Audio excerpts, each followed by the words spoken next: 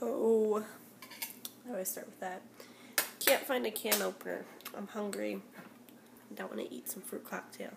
I probably shouldn't because the can's dented, and for you guys, never eat from a dented can because botulism will like get in that dented can within seconds.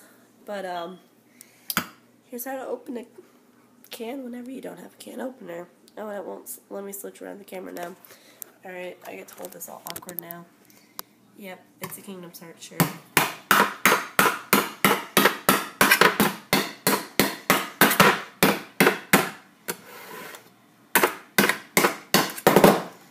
Oops. Not all the good juices. I really need to just set this and bet. Okay. I'm scared I'm gonna like stab myself, but I never do. But every time I get worried that I will.